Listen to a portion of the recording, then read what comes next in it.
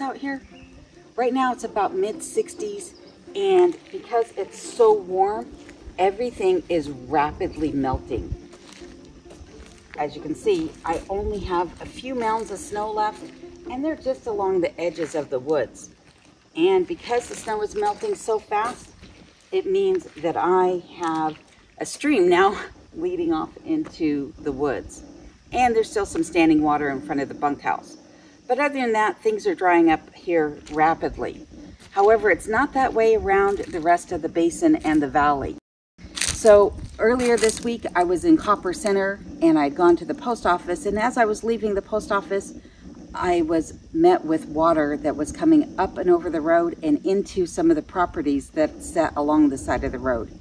And then I went into Glennallen where I was stuck in traffic waiting for a pilot car to take me through because the water there is flooding almost the entire stretch of the highway through the main part of the town.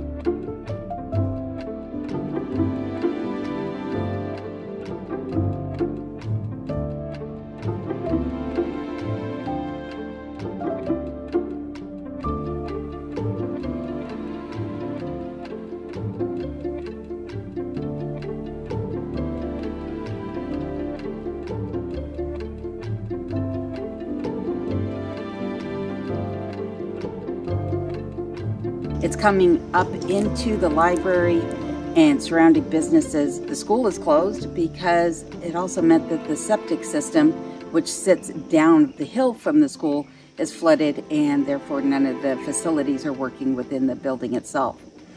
So there's a good chance that they're going to close that highway this week if they can't remedy the situation. They're bringing in truckloads of rock and gravel but unfortunately, the waters are washing away their efforts just as quickly as they're laying everything down.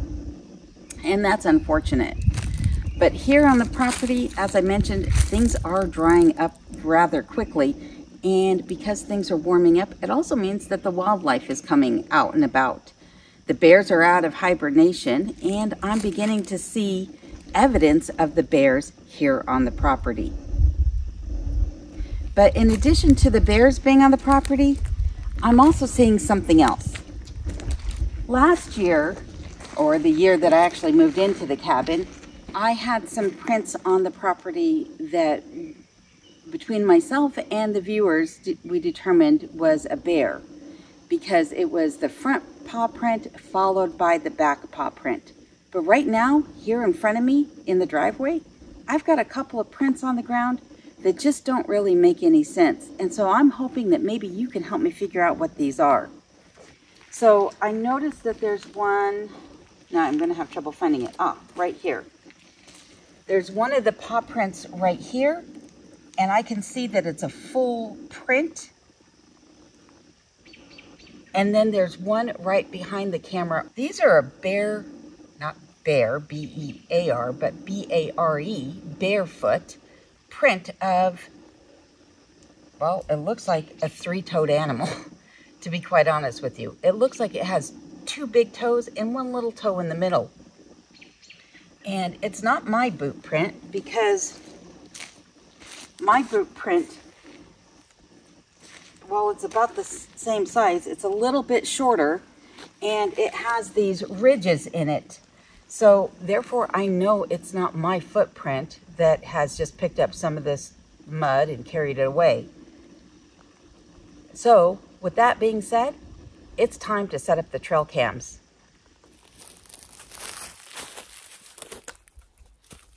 Last year, these trail cameras helped me to identify moose and bears walking through the property. And in fact, the bear seen down at the other trailhead was there just two hours after my son and his roommate were in that exact same location. And that's where I saw the bear prints earlier this week. And so getting these trail cameras set up will help me to identify the wildlife that's coming through the property. Speaking of wildlife, in one of my more recent videos, there was a sound of some wildlife that was picked up by the camera. And Steve at Steve's Woodworking and Homestead happened to identify what that sound is. Now, I had heard this sound all last spring and summer and fall. And to be honest with you, I could not tell what that noise was. To me, it sounded mechanical, like an engine, a combustion engine uh, trying to turn over.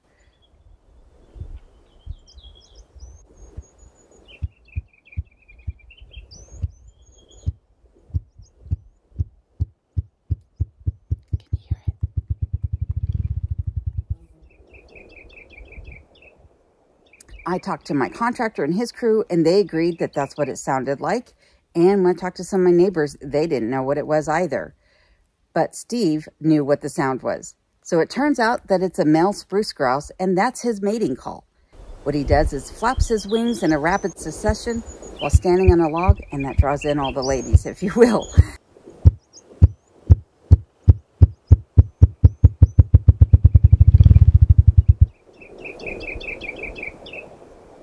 I am very happy to have identified the sound because to be honest with you, thinking that it was an engine off in the woods someplace was really disturbing to me actually. And so very thankful to Steve for identifying the sound. But I'm going to get these cameras set up and see what happens to be walking around on the property. And I'll be checking the security cameras to find out what made those prints in the driveway. And one of the other things is is there is so much daylight out now that I can see on those security cameras basically 24 hours a day now. At night, I do have night vision on those cameras, so I do get a pretty good view of what's happening on the property during the night hours. But right now, there's 18 hours of daylight, and by the time the summer solstice comes around in about a month's time, I'll be at just, well, I guess I'll be at 19 hours. I'll gain another hour of daylight between now and then. The sun is setting around 10.30 at night, and it doesn't come up till 4.30 in the morning. So at night, it's really bright outside, and I can see clear down into the trees. With the sun coming up at 4.30 in the morning, as soon as it crests over the mountaintops, it's basically waking Kenai and I up. So I do have some blackout curtains on order but they're not here yet. So hopefully they show up here any day now. But speaking of what's going on inside the cabin, let's head inside and I'll show you something that I've got brewing up in the kitchen.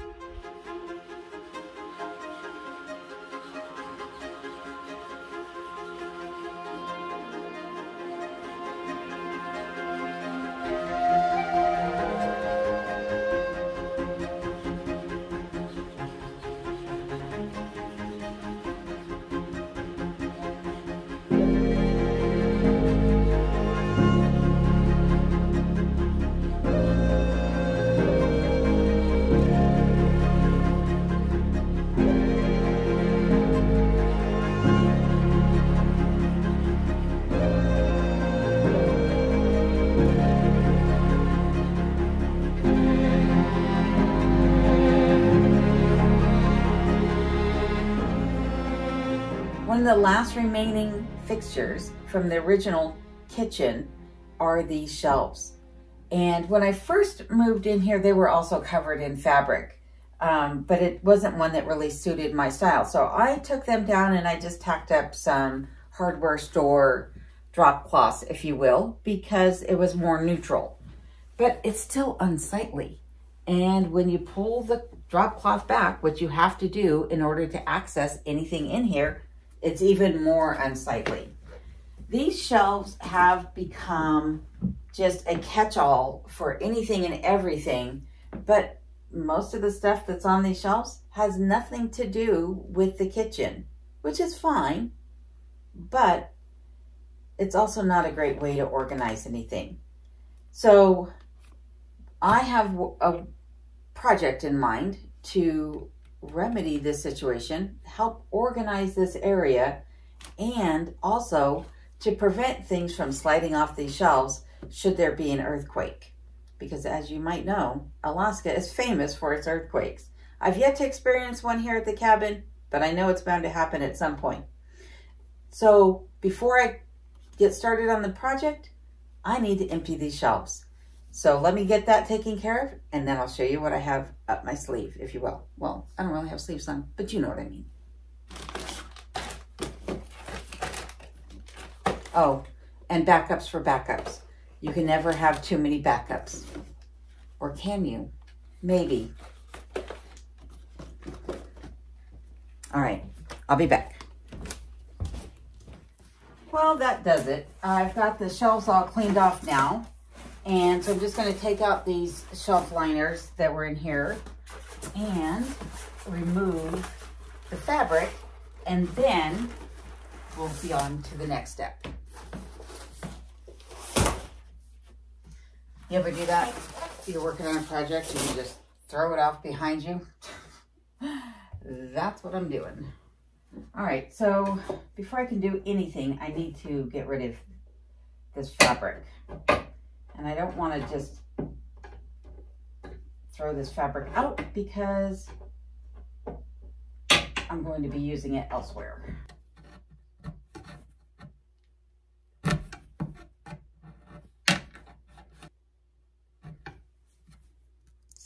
I might have no choice but to destroy this fabric in some areas, but that's okay.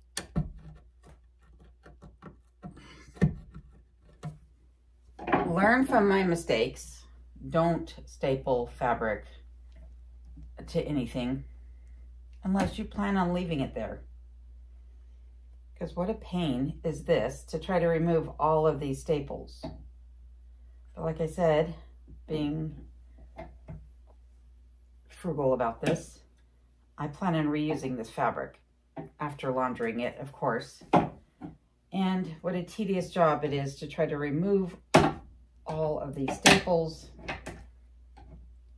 And like I said, you can't, when it's stapled like this, you cannot launder anything.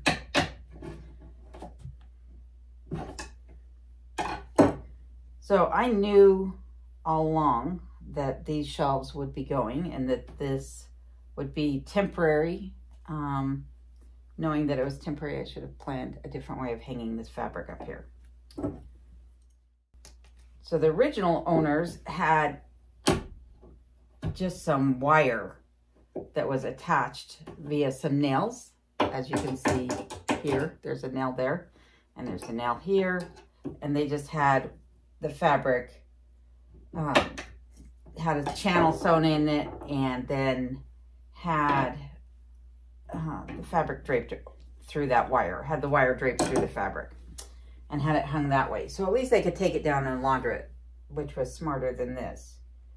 They did the same thing to hang this curtain up here. This is literally just a piece of wire up here holding this curtain on. Eventually, that's going to get um, replaced as well eventually. Not, not anytime soon, I don't think. Well, one eternity later, and I finally got all those staples out. So yeah, learn from my lesson and don't uh, staple fabric onto wood. But to be honest with you, I kind of like the shelves now that the fabric's gone. Maybe if I just put some decorative items on it, it'll work. Oh, wait. Now that I look closer at these shelves, there's no way that I'm leaving these shelves here. If I were to do that, I would honestly have to sand them down and refinish them. But these shelves are going to be repurposed. So, believe it or not, these shelves are coming out. So let me grab my tools and we'll get started.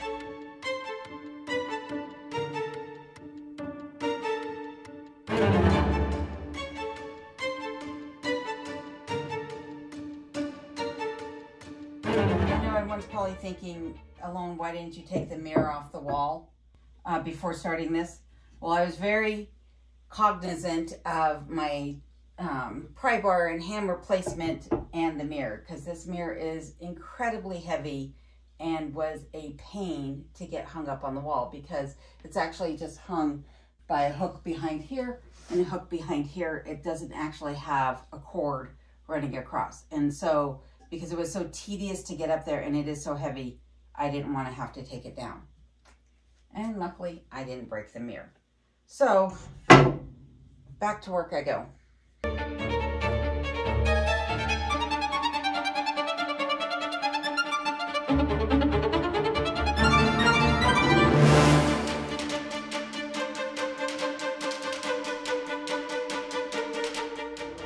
I think I'm going to invest in an oscillating tool, an oscillating cutting tool, so I could just shear these uh, nails off when I go to do this other set.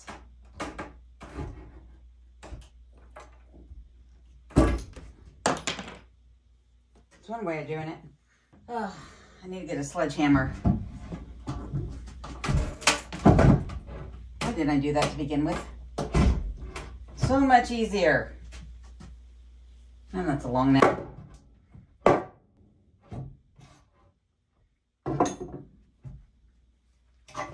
All right.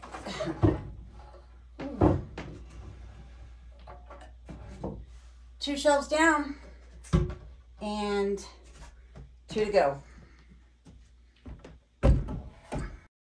I managed to get the shelves off without too much effort. I mean, it did do a little bit of damage to the walls, it pulled out a little bit of the wood and left some nail holes. And I have one nail that was left in the wall. But honestly, other than a little bit of muscle effort, it they came down fairly easily. I did think at one point I was going to have to go buy an oscillating cutting tool so I could just shear off the nails, but I'm glad that I didn't have to do that. However, getting the shelves off the wall did expose some issues with this wall. One is you can see all this water damage that was behind the shelves. And I knew that this water damage was here because you can see it actually starts up here behind the mirror. But that's a non-issue because it's actually been remedied by the replacing of the roof. So when I bought the cabin, it had a foam roof that was leaking and the eaves were not far enough out to keep water off the exterior of the logs. And like I said, there was a leak which was allowing water to come down inside the cabin. The roof has been replaced, so that's been remedied. So this is basically just staining and that could be sanded down and the logs will look new again. Not concerned about that part of it. What I am concerned about though is this canter in the logs here. This log and this log are tilted inward and then that has created this triangular piece here in the window framing. And in my opinion, that needs to be remedied. Um, this log is resting upon the corner of this log, but it should be resting face to face, not have this one inch gap in here. So I think that's going to need to be remedied. I need to get this one nail out of the wall or pound it in, but it's bent, so it's not going to go in. I tried that already. Um, and I need to clean up this wall because there is a ton of debris that was stuck behind the shelves. So let me get this cleaned up and then I'll show you what my new solution is for storage along this area that hopefully will be more secure than the shelves were as far as earthquakes are concerned.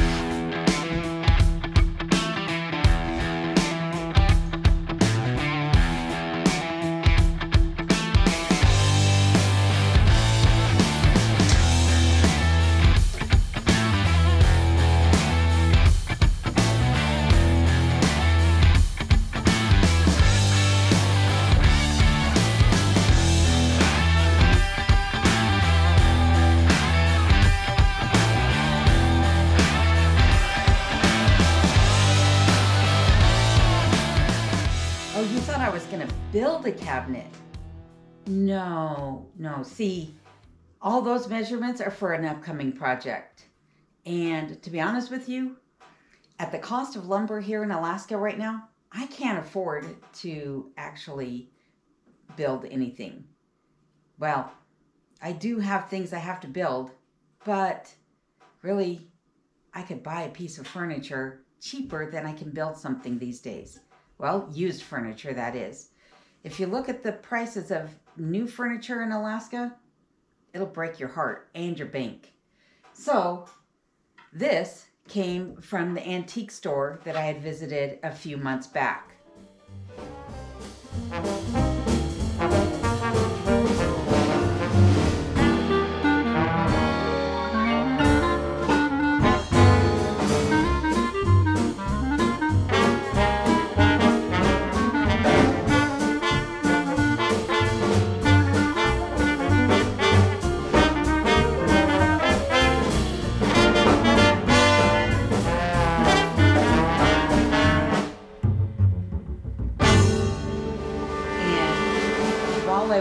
There, I had eyed this and I knew that I needed some storage solutions here in the kitchen.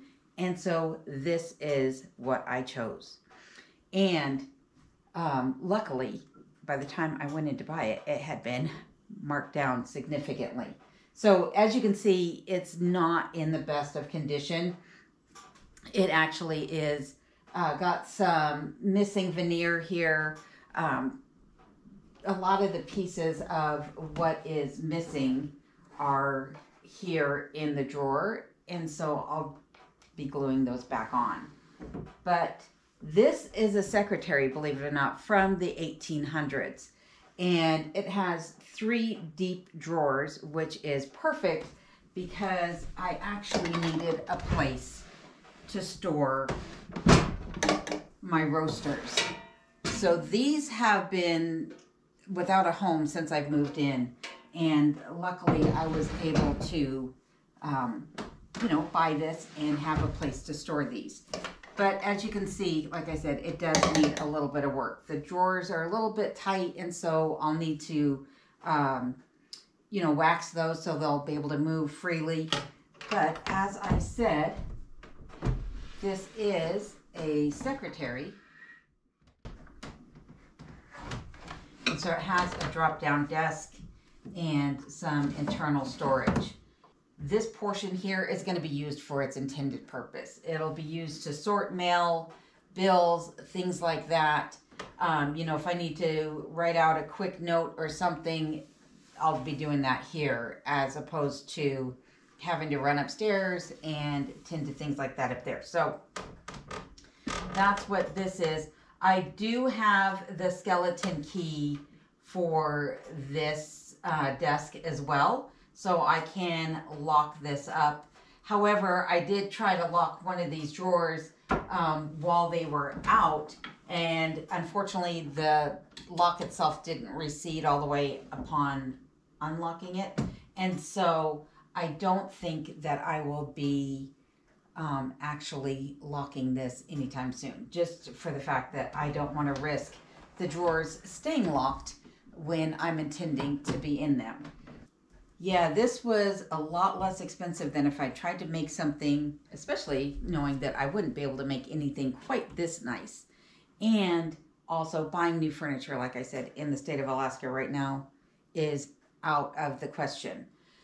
So not only did I buy this though, but I bought something else. Come with me and I'll show you. So the other piece of furniture that I purchased was this bureau. Now this is, according to the antique dealer, this is what's called base furniture. And the reason he's calling it base furniture is because this is what the officers' homes were furnished with in the military bases here in Alaska um, in the 50s and early 60s. So this piece though matches pretty darn well to my china cabinet and my buffet. So that's why this is sitting here. Also, it's sitting here because I needed a place for my linens, uh, table linens and other um, kitchenwares and things like that. Believe it or not, I have a lot of kitchenwares. If you couldn't tell by my cooking videos, I love to cook and I need a place to store all the things that I just didn't really have a home for. So that's why I bought these two pieces of furniture. And as I said, these were both on sale and I had been saving up for this project anyhow because like I said, I knew those shelves would be coming out. So I did get one more thing though while I was in town and you may have seen it in one of my most recent videos. So this is the other thing that I managed to pick up while I was in town and you probably saw this in a recent video but the reason for the new chandelier is not only does it closely resemble the chandelier that I got um, from my grandparents after they had passed, but also I needed it because this light fixture actually isn't working. So only a couple of the sockets are working and then the globes are broken and missing and I tried to buy new globes for it. I couldn't find anything that fit it and I decided after months of trying to just give up on it and find something that actually is going to work better in this space. So hence why the new chandelier. And like I said, this sitting in someone's garage for the last couple of decades, uh, they let this go for a still. And I'm very fortunate that they did because they obviously did not know what these are going for online because there's no way I could have bought one at those prices. So when my son comes out, I'm going to have him hardwire this for me and get that put up and take the other one down. So for now, it's just hanging there temporarily just to keep it up and off the floor. As I mentioned, I'd gone to the post office and usually that means that there are some gifts and goodies that have been sent to me by viewers. And I just want to say thank you to everybody who sent gifts in. So I want to say thank you to Marnie for this Black & Decker ceramic heater, that is sure to keep my toes toasty warm as I'm sitting there editing on long winter nights. I really appreciate it. As well as the emergency radio. That is going to be a lifesaver if ever I should need it, along with this anarchist cookbook. And if you're not familiar with this cookbook, I will just tell you that this isn't your traditional cookbook. Uh, and there's not much in here that I can show on YouTube without getting in some sort of trouble. So thank you, Marnie, for these items. I really appreciate all of them. And I want to say thank you to whoever sent me in these velvet curtains. Um, that was completely unexpected. They had just gone in the wish list inadvertently, believe it or not. I meant to put them in save later. But nonetheless, I really appreciate them because there's something that I really wanted. So I appreciate that. And I also appreciate the things that Bren sent. Bren sent me a dish towel and a couple of hot pads, a thoughtful handwritten note, and a recipe for an easy quiche. So thank you, Bren. I really appreciate all of this. And I appreciate each and every one of you for watching today's video. If you haven't already, please subscribe and please also remember to hit that like button. If you've watched this far, chances are you liked what you saw. Additionally, I have some outtakes for you that you might like as well. And on top of the outtakes, when they're done, guess what? There'll be some links to some additional videos that you might like also. Until next time, please stay safe and take care, and I'll see you on the next video.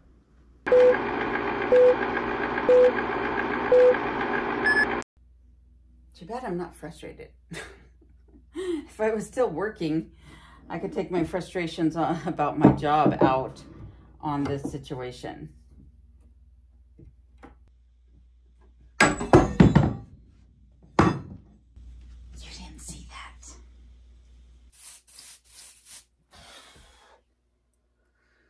You can only hold your breath for so long.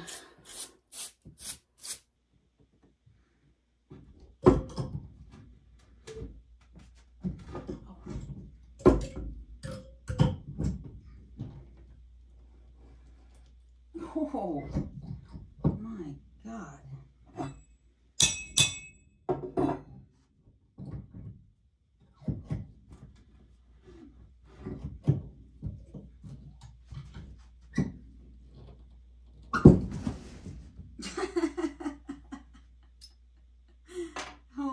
You see how long that nail is? Do you see that? That's an awfully long nail for that shelf. Overkill. Overkill.